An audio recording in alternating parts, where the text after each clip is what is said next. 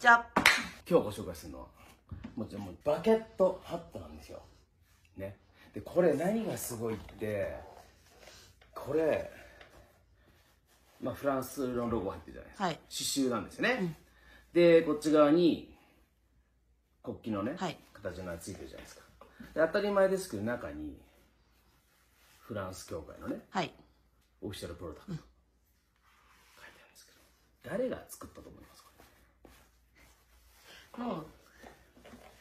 その中でも俺誰がつ俺だよそう私のねフランス愛がですよ。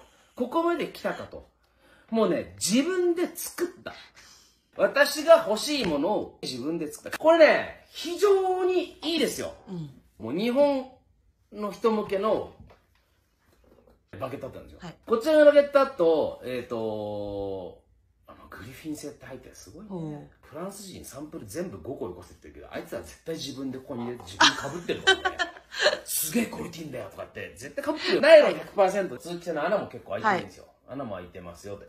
で金属金属金属はない。ない。ないです。サイズはフリーサイズですね。あとねナイロン製のバケットは何がいいってこうやってなんか折りたたんでできるんですよ皆さんも分かってるんだけど最近ものすごい猛暑じゃん。はい暑い。全国的に、はい。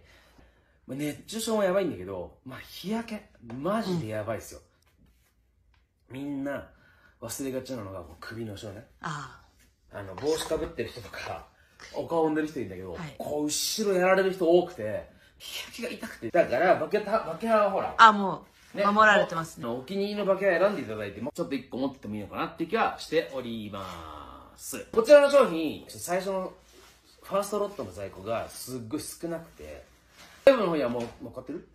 これからかな？まあ乗っけると思いますけどもご希望の方はですねなるべくお早めに。ただこれはさっきも言ったけど自社開発商品なんで入ってきます、はい。でただ生産する場所が混んでるみたいで結構時間かかるのかなって気がするんですよね。よろしければ下の方にリンクも貼ってるので見てみてください。今日ご紹介したのはフランス代表の新しいモデルのバケットハットのご紹介でした。